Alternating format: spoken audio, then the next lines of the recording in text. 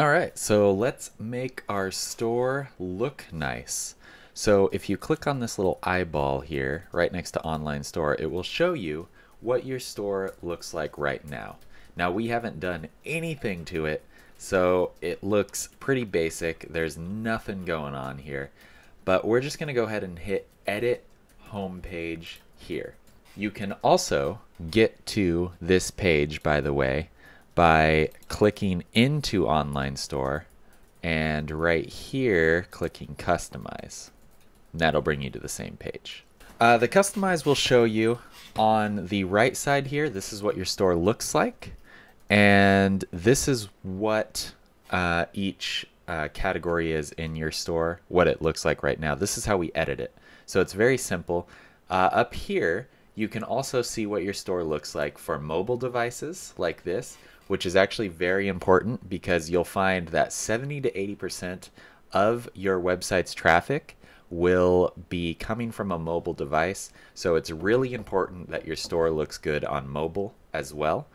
Uh, this is your standard computer, and you could do this one just to make it the full widescreen.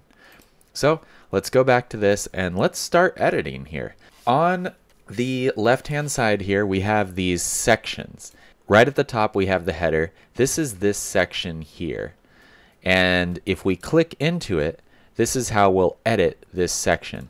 Same thing for all the other sections. This is how we edit each section. We'll just click on that section and it'll bring up various options for that section and we can edit it. Now, uh, it's important to note too that what we're using is the standard Shopify theme. There are many themes you can choose from with Shopify. This is the basic uh, debut theme, uh, but if you go back, you can actually, there's a theme store. So you go to online stores and themes. Uh, and you can actually explore the free themes, or you can go to the Shopify theme store and download new themes.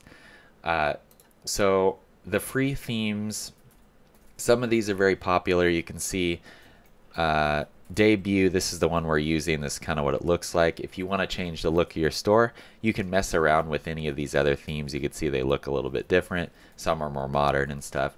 I'm just going to use the standard debut theme, not necessarily because it looks the best, but in my opinion, uh, many, almost every add-on out there works with debut theme. And it also seems to have the most options, at least for me. There's a lot of these other things that sometimes you can't change things. So I'm going to use the debut theme. Let's go back to customize here. We have all these different sections. I'm actually going to delete all these sections that come with the store. So if you just click into the section, scroll down to the bottom and hit remove section, you can delete all of these. So let's start from a blank canvas here and delete every section that they have here by default. So this is a blank canvas. All we have is our header and footer. This is our footer. You can see in the footer we have the policies that we made and the header has nothing going on. So we're going to start by adding a section. Let's add a section and we're going to do image with text overlay and then hit add. This is just going to have a big image and some text and uh, an overlay. It's just going to be really simple. So you can upload any image you want on here, uh, but we're going to do explore free images. And since we're doing like a bikini bathing suit type thing, we're going to go like tropical. So let me type in tropical and see what comes up. So these are pretty nice looking. Let's go to beach. Let's type in beach. So these are all free to use. We can use any one of these images. Let's load more. Let's find a good one here. Okay, we don't sell that bikini, but let's just use it as an example. So we're going to hit select. A mistake that I see a lot of stores make is they put some sort of cool wording here, something that sounds really nice, but it has really nothing to do with what they sell. Marketing tip for you since this is the first thing that your customers are going to see in your store, within the first five seconds or even two seconds, they need to know what you sell, how it helps them, and how they can buy one. Those are the three things you need to keep in mind right when they visit their store. That's what they need to know. Keeping that in mind, we're going to make the heading something that sounds good, is very catchy, um, but is also uh, lets people know what you're selling and how it helps them. So we're going to address the problem it's solving as well as what we're selling. They should know this from this one little sentence, very short sentence. So let's say swimsuits that look and feel good. Okay, very simple. They come to our page, they know what we're about. And in the text, the subheadline here, this is where you put the little cool little saying, but it still has to reflect what your brand is and why it exists and what problem it's solving. So uh, maybe something like, we believe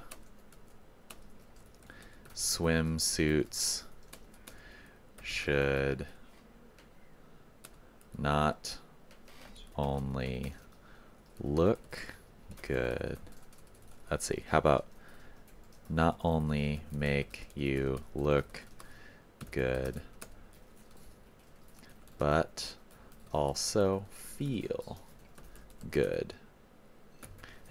Very simple. Maybe it doesn't need a period. Spelled believe wrong. And a subheading, I'm going to just make these all capitals. Now, when someone visits a site, this is the first thing they're going to see. They're going to see this girl in a swimsuit, and they will know right away in the first three or four seconds of seeing this page, seeing that we sell swimsuits, and our goal is to sell swimsuits that feel good as well as look good. The last thing we need to address for the customer is how they can get one right away, first five seconds, they know what we sell, what problem we're solving, and how they can buy one. There is no how they can buy one here, so we're going to add a button link down here. And what I usually do is just all caps shop now. I do one of these little things. And right now, uh, I'll just link it to the collection we made, bikinis. And that's it.